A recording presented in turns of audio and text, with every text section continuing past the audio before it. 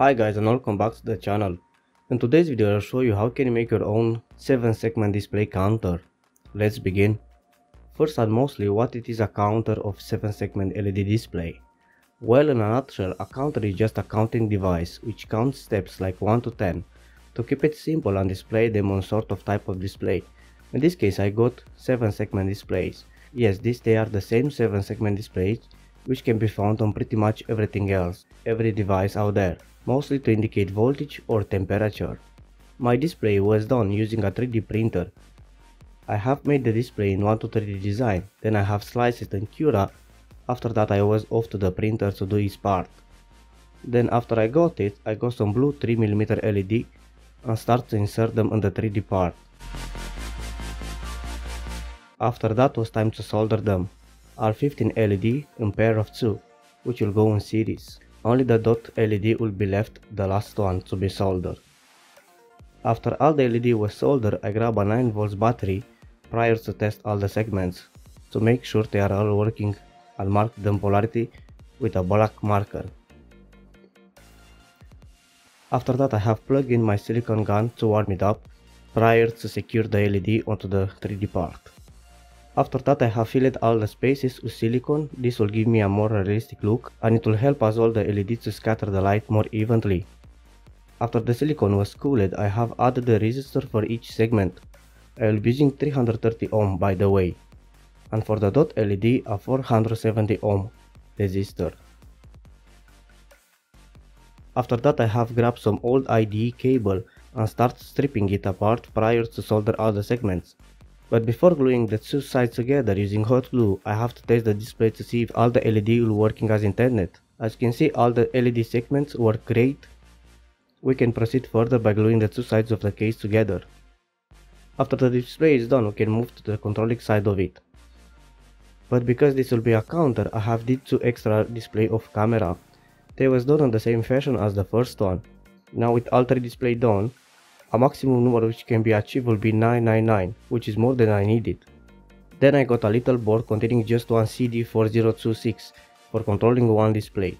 Now keep in mind that this IC only counts up, not down. Using only one we can count to a maximum of 9. After a little prototype showed that it's working, I have designed a board using 3 identical IC. For controlling the 3 display here I have created a little schematic the circuit will be based on CD4026IC, which according to its datasheet is so-called CMOS or complementary metal oxide semiconductor, but in a nutshell is just a counter. Now to the assembly part of the counter. Let's start by building process by grabbing all the required parts and like usually I will be using this perforated board often called Vero board.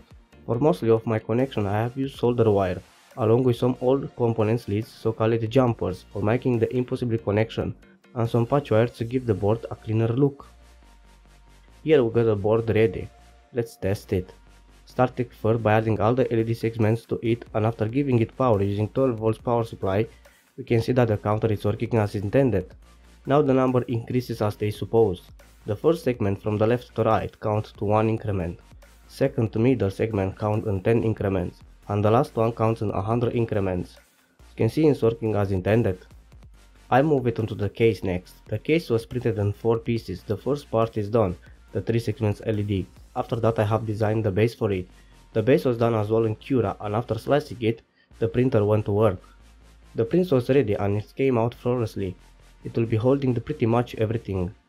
Like the on-off switch, the LED indicator, the display plus other jacks. For external application, more on that later. This I have designed and printed off camera. It's a simple inner lock for the display because it seems that I didn't take in consideration few parameters and the case is a bit bigger, but after that was sorted they fit like it should, and the end model will be done a bit better.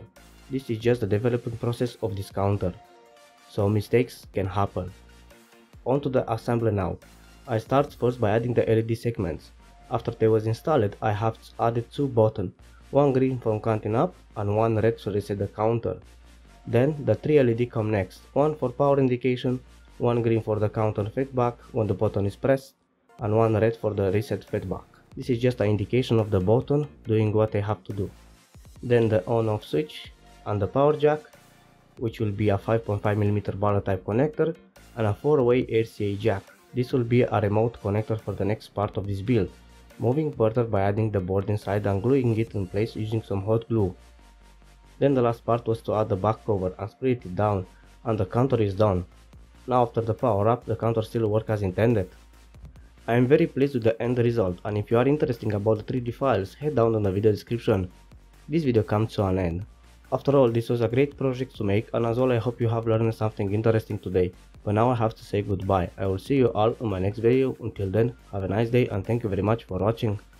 See ya.